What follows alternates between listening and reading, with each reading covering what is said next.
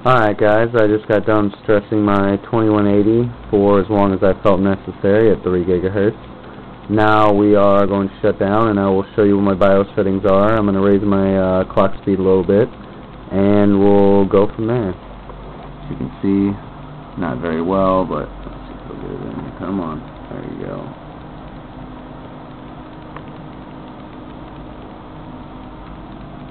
Best website ever right there, overclock.net what uh, taught me a lot of stuff I know. So if anybody wants to check it out, feel free. It's a great website. Been a member uh, quite a while. It's a little little over a year now. So, all right, let's get to the point here. Shut this thing down.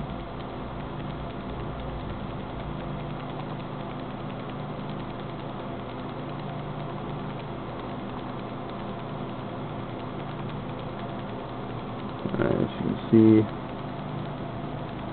restarting. if I shut it down, I'll have to restart all over again.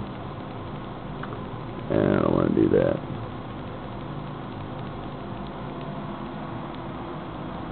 Sorry, computer here. Press delete to get into BIOS.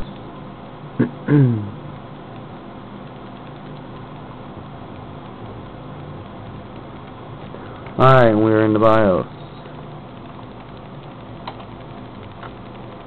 See 300 by 10 memory at 750 megahertz 55515 which I said earlier super loose 4.25 and everybody keeps telling me to go lower but uh, it doesn't seem to be going any lower than this.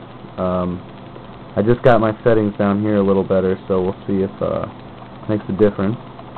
And we disabled transaction booster this time which was it auto last time and seemed to work at first, but once you get right around 3 gigahertz, it fails no matter what you do.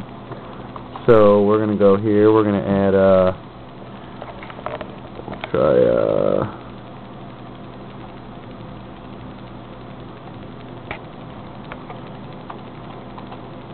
Three oh five. Give me uh, another speed three 0.05 gigahertz, 50 megahertz clock speed.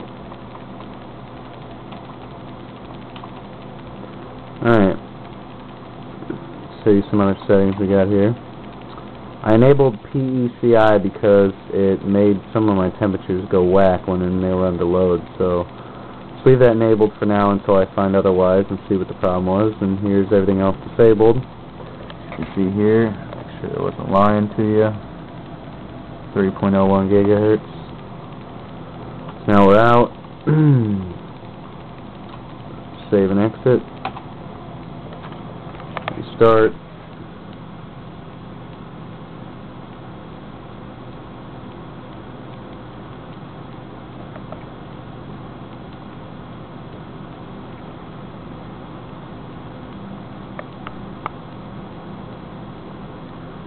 Takes forever to boot.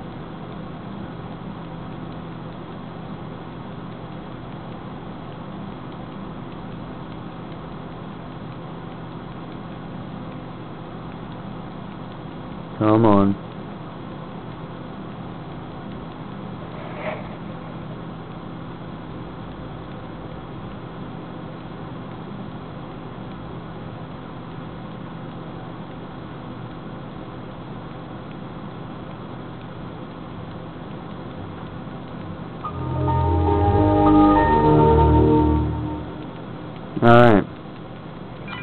Back in the Windows. Oh, got a phone again.